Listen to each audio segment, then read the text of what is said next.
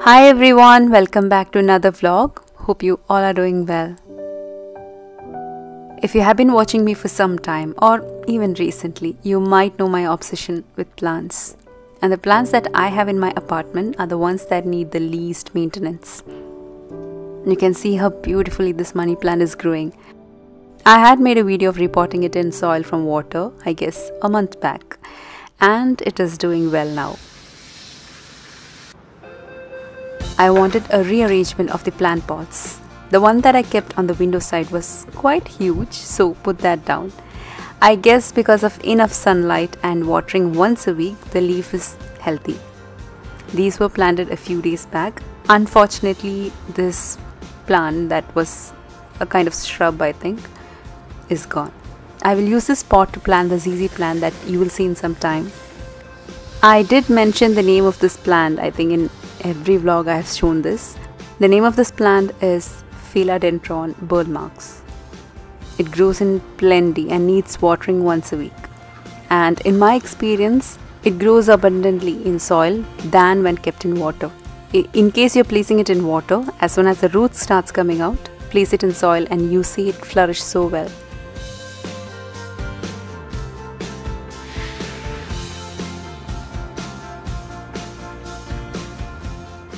And that is the ZZ plant I had placed in water before going on vacation. It's almost two months I guess. The roots have come from the stem and even from the leaves too.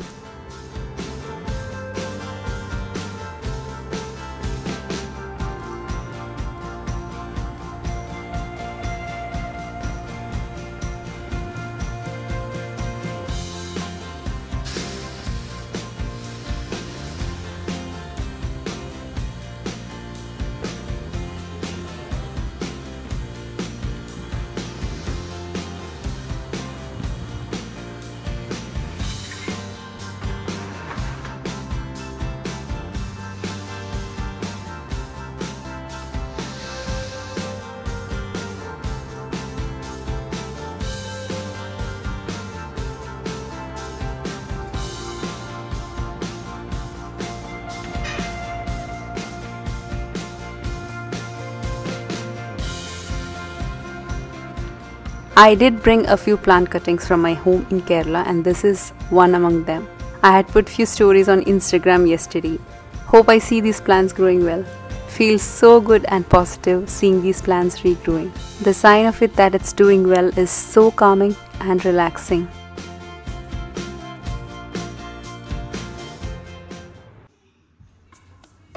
The stove I have in this apartment is inbuilt. Sometimes these dark stains do appear and I clean it up with Jif which is a creamy textured cleaning thing. All I do is spread it on the tough stains and leave it for 10 minutes.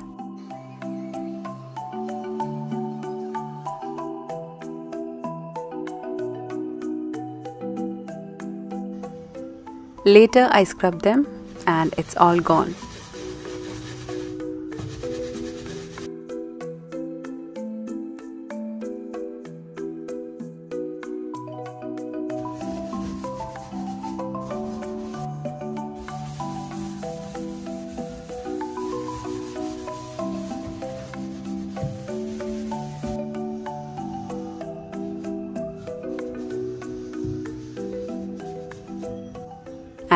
What's more satisfying than seeing a shiny stove? I love to make it clean and tidy before any major cooking and also later.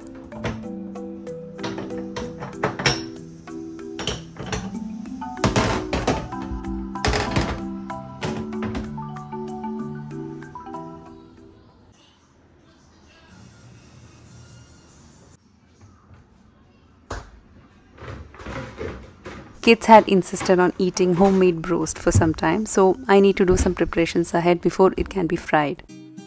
I'm preparing it on Friday, so all the preparations are done on Thursday evening. I took out the chicken pieces that were cut into broast size. It depends on your likes, you can keep it big or small sized. But do the preparations a day before so that the chicken cooks well.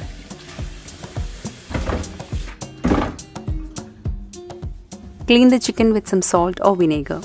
This helps in getting rid of the extra red color and dirt.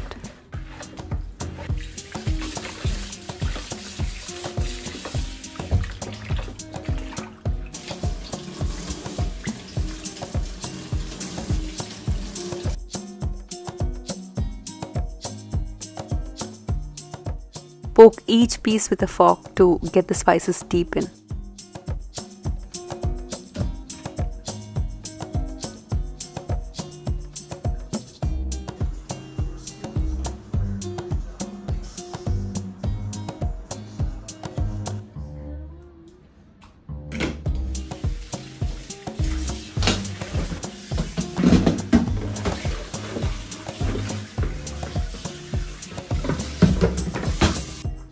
Make sure you clean your kitchen sink after cutting or cleaning any meat or fish, or else there will be that raw smell coming and your kitchen will be having that awful smell. I like to use Jif for this reason, and this is not a sponsored video of Jif. Even if I use dish liquid, the smell remains. So, my mom always insists on using Jif for a clean and smell free sink. My microfiber cloths are all in not so good condition. Need to get new ones. Almost all the clothes have faded in color or tone.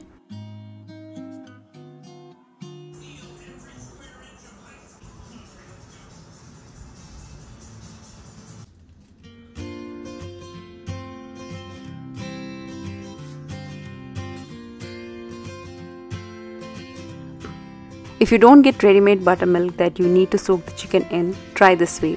Add 1 and a half cup of milk into a big bowl and pour 1 or 2 tablespoons of vinegar or lemon juice. Keep that aside for 3 or 4 minutes. I'm using these ingredients for 1.5 kilo chicken pieces. This is a ready-made flour, Broast flour from Lulu and it's Lulu brand again. It's a spicy one that I chose.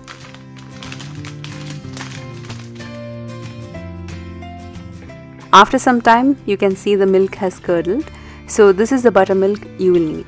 Into this add 2 teaspoon Kashmiri red chili powder, 1 teaspoon paprika, 1 teaspoon cumin powder, around half to 3 4 tablespoon salt, half teaspoon crushed black pepper, some dried herbs like dried basil and oregano,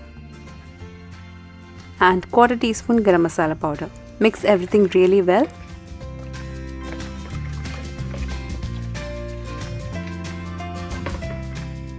Now soak the chicken pieces into this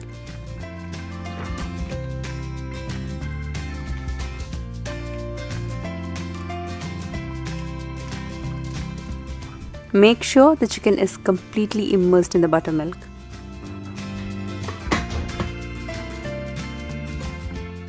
Only a few minutes later I realized that I forgot to add crushed garlic, so took it out from the refrigerator and mixed in the garlic.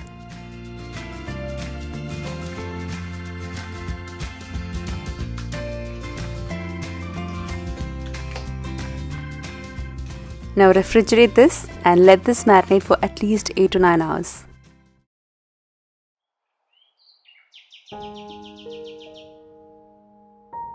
Good morning to you all. Today it's Friday. It's off and as usual we wake up a bit late.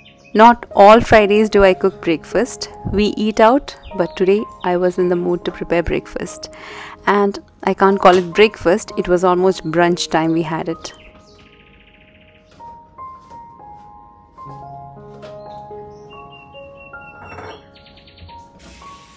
The non-veg we mostly have for breakfast would be eggs, but today used minced meat to prepare lasagna.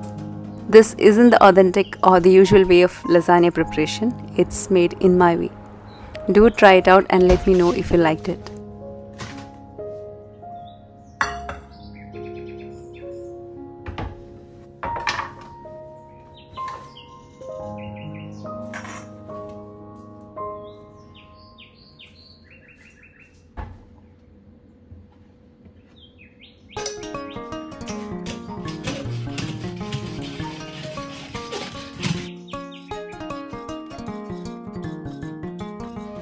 I need to be very careful after I sharpen my knife because it will be super sharp and it can easily cut anything, beat your fingers.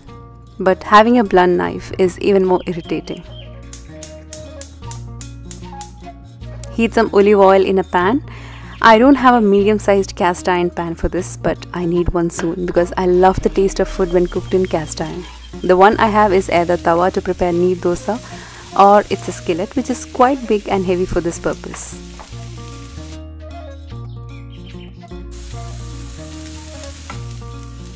Anyways, once the onion is soft and sauteed well, add the minced meat and let the color change from pink.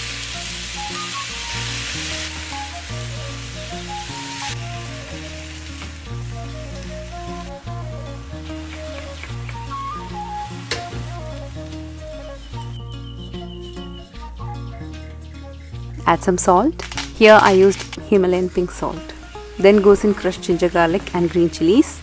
Keep on low flame and let this cook for 5 to 7 minutes.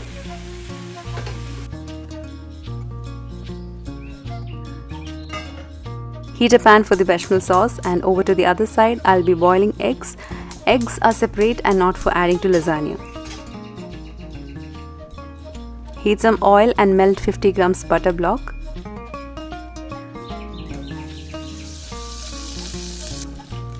I hate when the butter splutters and make a mess on the stove. I couldn't find the lid anywhere so the mess was spreading. If I don't wipe it soon, it will be hard later.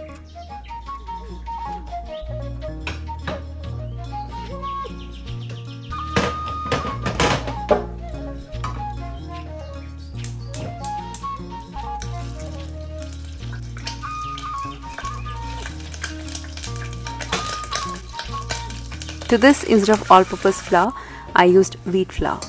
Keep on low flame and cook the flour. Make sure it doesn't get burned. Keep mixing for 2 minutes and then add 2 cups milk.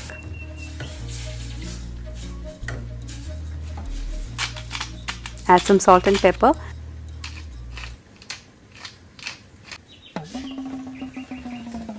You may add some herbs if you want and even some cheese. I added 2 tablespoons of mayonnaise. Mix well and let this get semi-thick.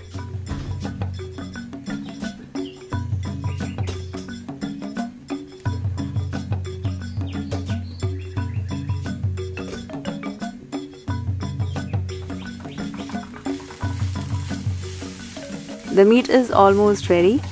Meanwhile, this is getting thick Make sure it's a semi-thick texture because as it sits, it will get thicker. This is done now. Turn off the flame and let this cool down a bit. Into the meat goes in coriander powder, turmeric powder, garam masala powder and some cumin powder. Saute till the raw smell of these goes. Then here I added 2 cups of coconut milk. Instead of this, you can add canned tomatoes to make it a bit liquid. I went for not the red color, so added coconut milk. Mix for a minute and this is done. Check salt and add if needed. Meanwhile, preheat the oven to 180 degrees Celsius for 10 minutes.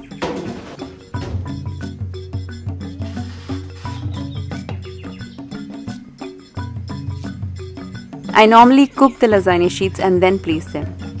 I found these oven ready sheets in Lulu so bought this and not very impressed with the texture. Next time I will use the pre-cooked method. In an oven proof dish tray, spread some olive oil and spread some of the meat mix at the bottom. This is to make sure that the lasagna sheets don't burn. Now place the sheets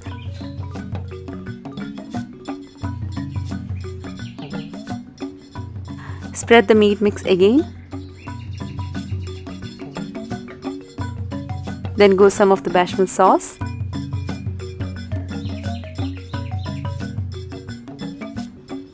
Add some cheese. I used mozzarella cheese. And now repeat.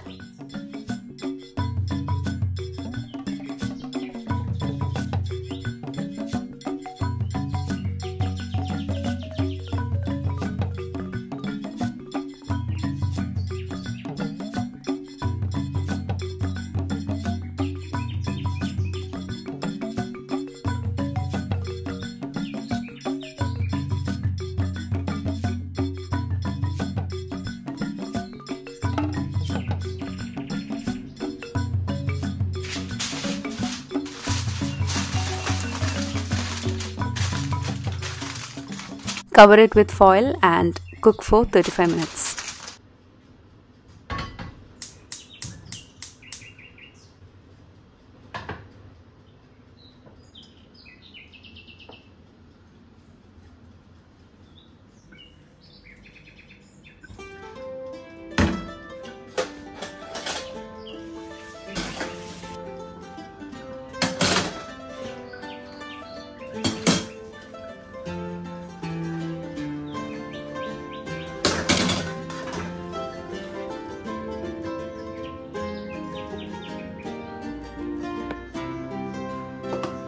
Kids will go for lasagna, but I'm sure my husband will need some Kerala cuisine to be happy. And so do me. Had some dosa batter left in the fridge and some moong dal curry that was left over from the dinner last night. Prepare dosas with this batter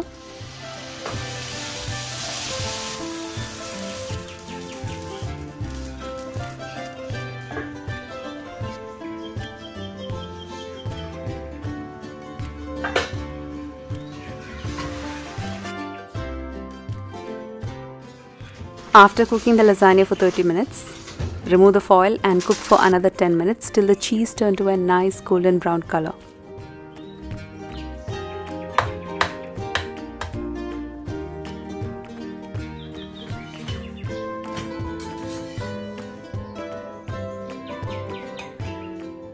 I'll be shallow frying the fried eggs that will be cut in half.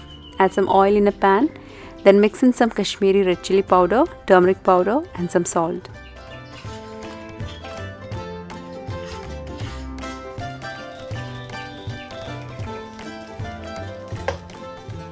Place the eggs this way.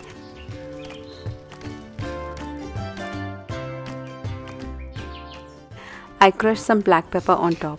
You may fry it on both sides but I fry just on the bottom.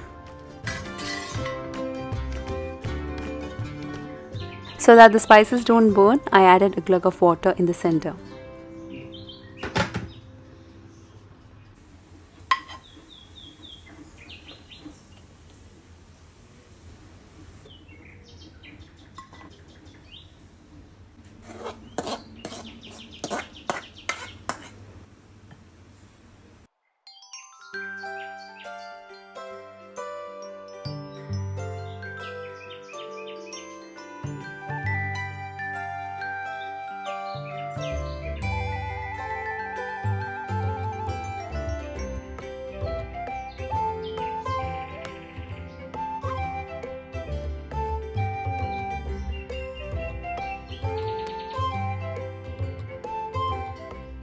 And that's our Friday brunch.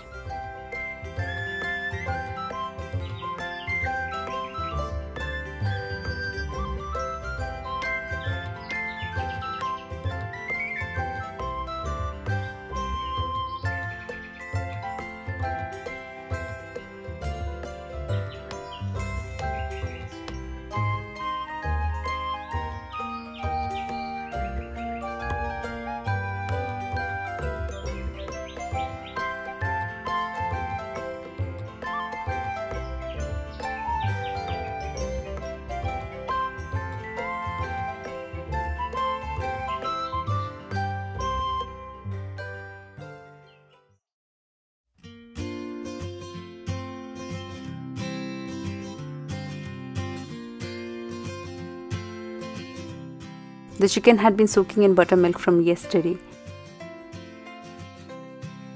I took out a strainer and placed the chicken pieces in it.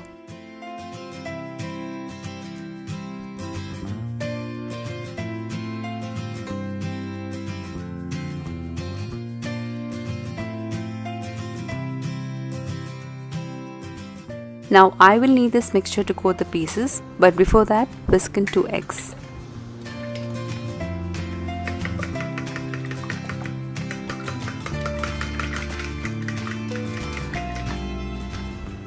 I'm placing this on top so that the extra tips down.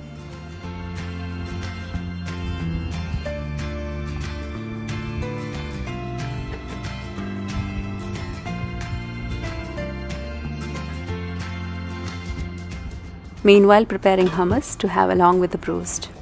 This is cooked chickpeas and using canned ones to make it easy. Then goes in tahini which is nothing but sesame paste. Salt, vinegar, or lemon juice and olive oil.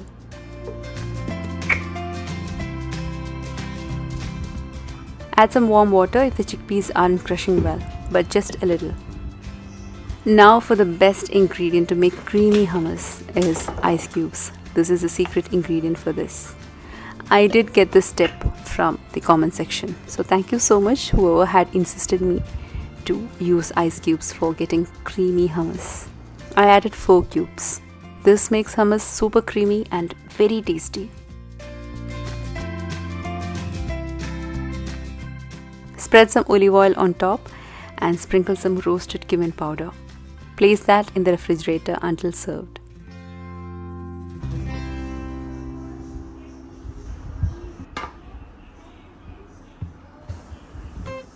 Time to coat the chicken pieces. This is the ready-made pack but if you don't have this use plain flour and mix some spices which I will provide in the description box so please check that out. You don't have to strictly use this flour. Coat the chicken pieces first in the buttermilk and then in the flour. Now repeat one more time to get a thick coating.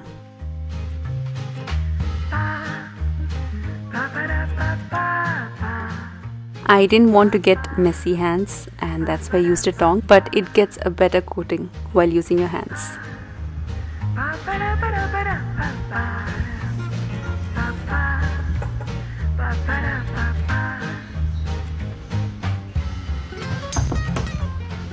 My husband wanted a guilt-free broast, so he insisted on trying it out in the air fryer. I tried two pieces to check. If it's good, I'll fry half air fried and half deep fried.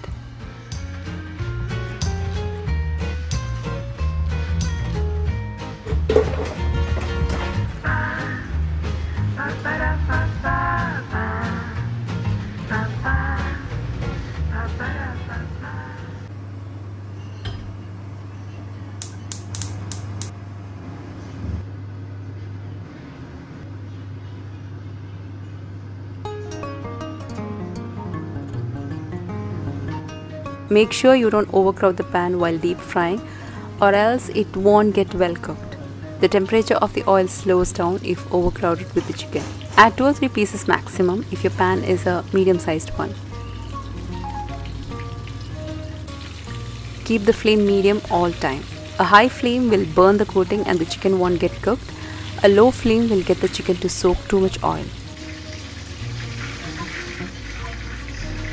Once it's a nice golden brown color, strain and take them out.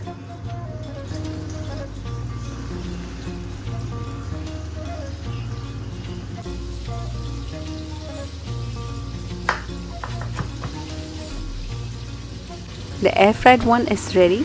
It is crispy and well cooked. And we shared one piece to see the result.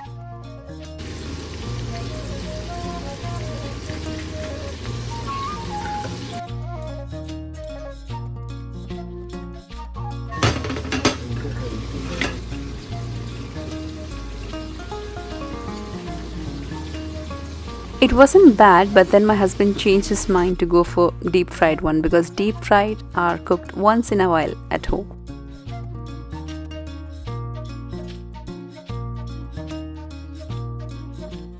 Preparing a salad with chunks of watermelon, mango, cucumber. You can cut these into your preferred size.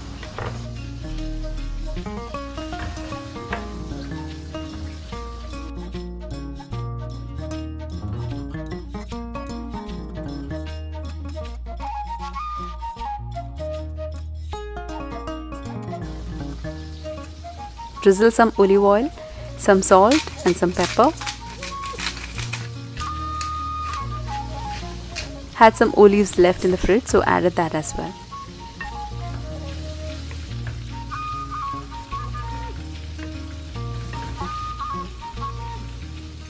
Mix and chill till served.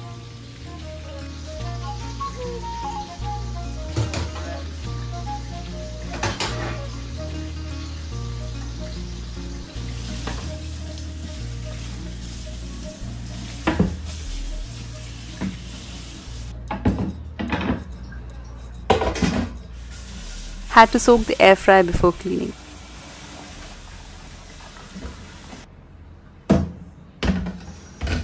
It was super hot in the kitchen so I went to take some rest. Carrot and cucumber sticks to dip in the creamy hummus.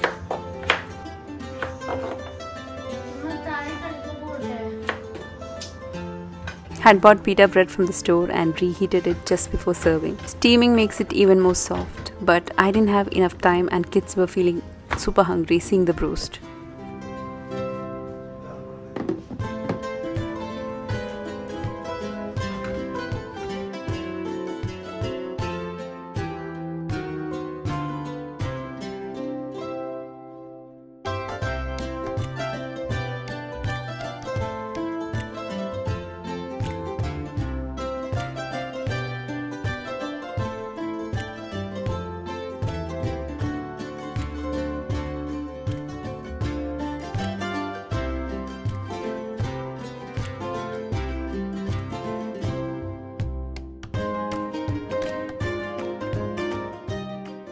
And our dinner for today is ready.